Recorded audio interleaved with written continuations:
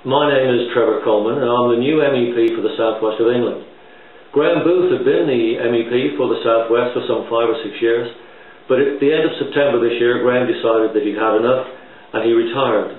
I took on on the 1st of October and this is my second visit to the Parliament building. I'm speaking to you from my office in Brussels and during the coming weeks I hope to be able to tell you what it's like to be an MEP over here and exactly what it means to represent UKIP and the people of the UK in this building.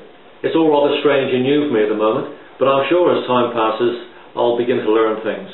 But whatever happens, I'll let you know how things are going and what I believe we should be doing to win the election in 2009. Thank you very much.